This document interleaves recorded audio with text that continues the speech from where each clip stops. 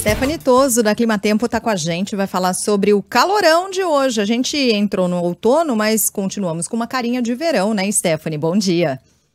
Bom dia, Sheila, para Carla, para Megali, para todos. Bom, a gente continua com essa carinha de verão aqui pelo estado de São Paulo. Então, esses primeiros dias da nova estação com temperaturas extremamente altas. Hoje a gente segue com máxima, chegando a 30 graus aqui para a capital paulista, dia bastante ensolarado, quase sem nuvens, e com destaque para o tempo firme já. Então, a partir de hoje, sem chuva aqui na cidade de São Paulo. Muitas cidades do interior também já sem chuva para hoje.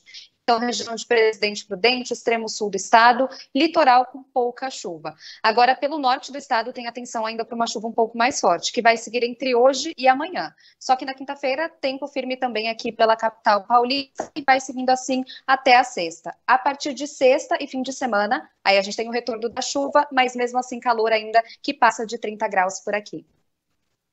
Pois é, Stephanie, ontem eu lembrei de você porque eu saí para passear com o cachorro à noite e tava aquele ventinho frio. Eu falei, essa Stephanie é danada. Ela acerta o dia quente e a noite um pouquinho mais fria. E aí pela manhã aquele bafo de novo, né? Mais tarde a gente volta a falar então uhum. sobre essas peculiaridades desse outono tão diferente, né, Stephanie? Um beijo para você.